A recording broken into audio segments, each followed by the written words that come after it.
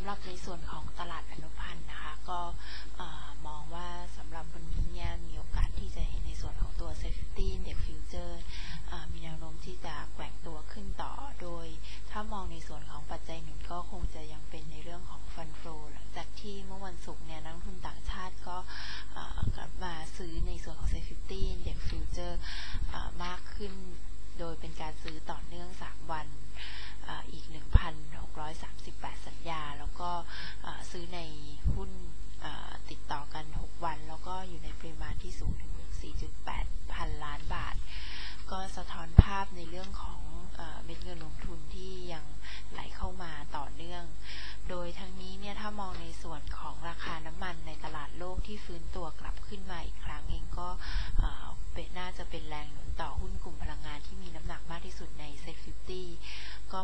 ถ้าปัจจัยทั้งสองเรื่องดังกล่าวเนี่ยยังคงเป็นปัจจัยหนุนในสัปดาห์นี้ก็ทำให้ในส่วนของ Set 50มีโอกาสที่จะขึ้นไปทดสอบระดับ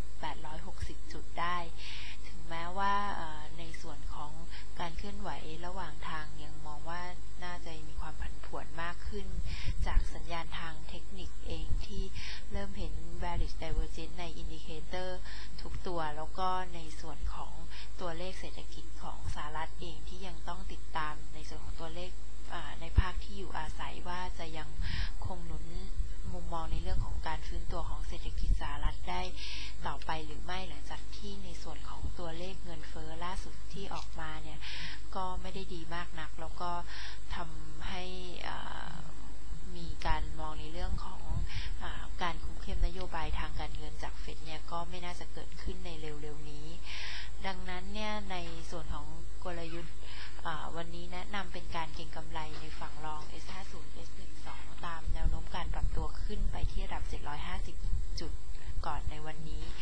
แล้วก็ป้องกันความเสี่ยงโดยตัดขาดทุนถ้าหากว่าล่วงลงหลุดระดับ 830 จุด ขณะที่มองในส่วนของกลยุทธ์ของสัปดาห์นี้ก็หลังจากที่มองว่าในเรื่องของกระแสเงินลงทุนน่าจะยังเป็นปัจจัยหนุน แต่ว่าอย่างที่กล่าวไปก็คงต้องติดตามในส่วนของอตัวเลขเศรษฐกิจในฝั่งสหรัฐเอง แล้วนอกจากนี้ก็ยังมีในส่วนของการประชุมดอกเบี้ยของกรงงที่มองในเรื่องของการคงอัตราดอกเบี้ยไว้ที่ระดับ 3%แต่ก็ในเรื่องของ ตัวเลขเงินเฟ้อเองเนี่ยที่มีแนวโน้มปรับตัวขึ้น แต่ก็ในส่วนของแบงก์ชาติเองเนี่ยก็ยังไม่ได้มีความกังวลมากนัก แล้วก็แต่ว่าก็คงต้องดูว่าจะมีการปรับเปลี่ยนในเรื่องของการคงอัตราดอกเบี้ยจากการประชุมในรอบนี้หรือเปล่า แล้วก็ถ้ามีอะไรเซอร์ไพรส์ออกมาเนี่ยก็อาจจะทำให้ค่าเงินบาทเนี่ยมีความผันผวนมากขึ้น ที่มองในช่วงของ 2 สัปดาห์สุดท้าย ก่อนที่ในส่วนของ S50 H12 เนี่ยจะหมดอายุสัญญาลง ก็มองว่ามีโอกาสที่จะเห็นการโลเวอร์ของนักลงทุนต่างชาติ โดยทั้งนี้ในไตรมาสที่ผ่านมาเนี่ยก็มีการโลเวอร์ไปในฝั่ง long ก็มองว่าในไตรมาสนี้เนี่ยน่าจะยังเห็นการโลเวอร์ไปในฝั่งรองเช่นกัน เนื่องจากว่าถ้ามองในเรื่องของอการ ที่อาจจะเกิดขึ้นในช่วงของต้นไตรมาสสองเนี่ยก็มีโอกาสที่จะเป็นไปได้ แต่ว่าถ้ามองในส่วนของอภาพโดยรวมเนี่ยก็ยังมองในเรื่องของการฟื้นตัวของเศรษฐกิจในบ้านเราเนี่ยน่าจะยังหนุนทิศทางขาขึ้นของตัว Safety Index Future ในไตรมาส 2 ได้ ดังนั้นเนี่ย การที่จะเข้าไป lower ก็ มองว่าน่าจะเป็นไปในฝั่งรองสำหรับในส่วนของนักทุนต่างชาติสำหรับนักทุนที่เป็นนักทุนในระยะกลางก็สามารถจะ lower ไปในฝั่งรองได้เช่นกัน ส่วนการที่จะเข้าไปก็งกำไรในสเปรดเนี่ยแนะนำเป็นการลองสเปรดแต่ว่าให้รอจังหวะที่ปรับตัวลงมา ที่ระดับลบ 8 จุด หรือว่าต่ำกว่าสำหรับส่วนต่างระหว่าง S50 M12 แล้วก็ S50 S12 ทั้งนี้ก็ติดตามรายละเอียดได้ในในส่วนของ weekly derivative insight ส่วน safety index option ถ้ามองในส่วนของตัว put call volume ที่ปรับตัวลดลงมา แต่ก็ยังอยู่ใกล้ ๆ ระดับ1เท่า ส่วน put call open interest เนี่ย ปรับตัวเพิ่มขึ้นมาอยู่ที่ระดับ 1.71 เท่า โดยมี implied volatility โดยรวมในฝั่งของ put option มากกว่าฝั่งของ call option ต่อเนื่องเป็นวันที่ 2 ก็มองว่ายังสะท้อนอภาพความผันผวนของตลาดถึงแม้ว่าในเรื่องของ fund flow เองเนี่ยยังเป็นปัจจัยหนุนให้ Set 50เนี่ยมีโอกาสปรับตัวขึ้นต่อหลังจากที่เมื่อวันศุกร์เนี่ยดีตัวขึ้นแรงเขาก็ระดับ 840 จุด โดยมองแนวต้านอยู่ที่ระดับ 850 ถึง 855 จุด ก็แนะนำให้เข้าไปเปิดสถานะช็อตพุทในสัญญาเดือนมีนาที่ราคาใช้สิทธิ์ 800 ถึง 810 จุด โดยมองว่าน่าจะสามารถเก็งกำไรตามค่าพรีเมียมที่มีแนวโน้มปรับตัวลดลงจาก โดยได้แรงหนุนจากในส่วน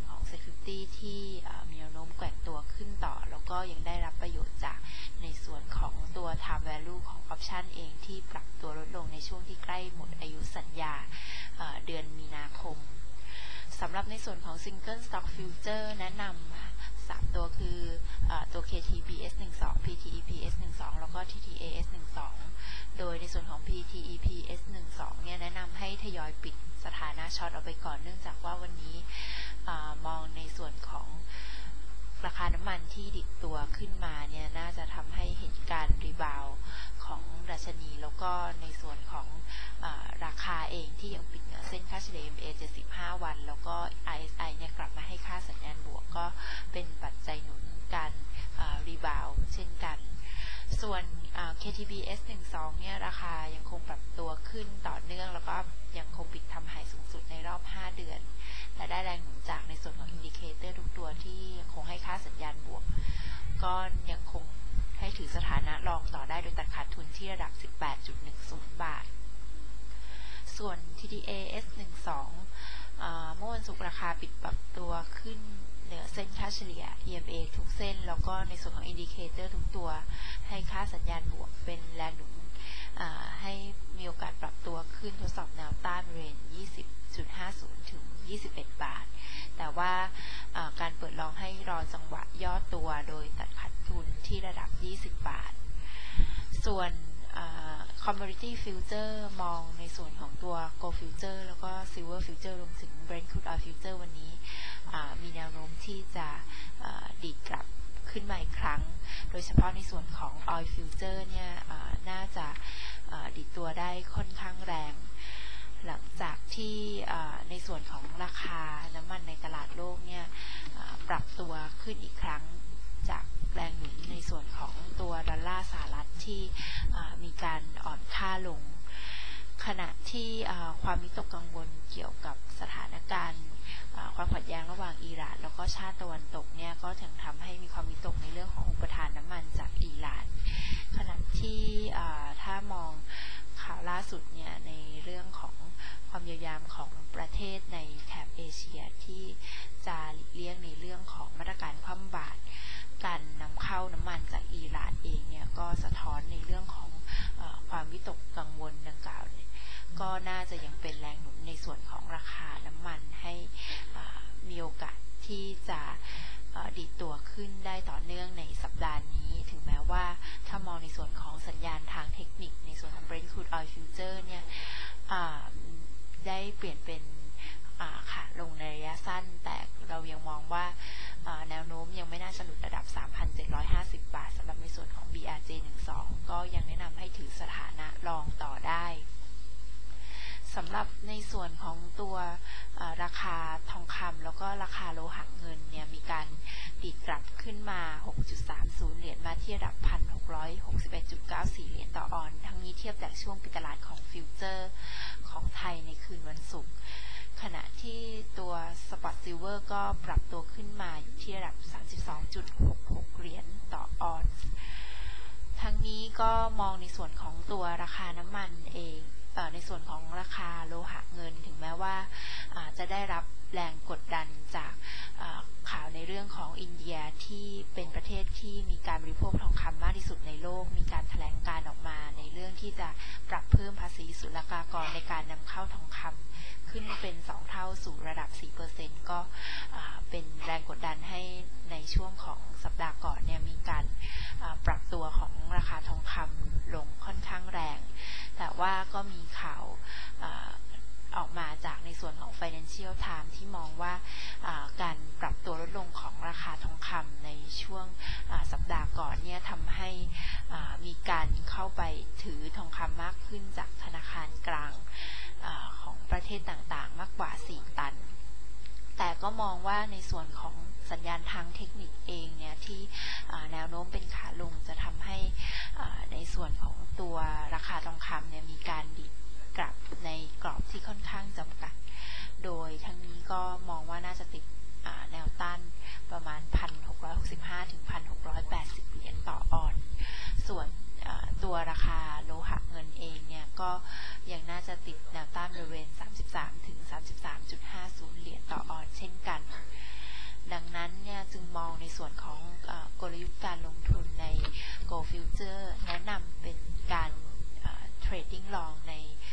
สั้นเท่านั้นในส่วนของ GF J12 แล้วก็ GF 10 J12 ตามแนวโน้มการปรับตัวขึ้นทดสอบระดับ 24,500 บาท อย่างไรก็ตามให้ป้องกันความเสี่ยงโดยตัดขาดทุนที่ระดับ 24,150 บาท ส่วน Silver Future เอ่อ แนะนำให้ไปรอเปิดช็อต SVJ12 ในจังหวะที่ดีดกลับขึ้นไป แต่ว่าไม่ผ่านระดับ 1,050 บาท ทางนี้ก็ยังมองมีโอกาสที่จะอ่ออ่อนค่าลงมาอีกครั้งที่ระดับแนวรับ 970ถึง950 บาท ปิดการประชุมในส่วนของตลาดอนุพันธ์ค่ะ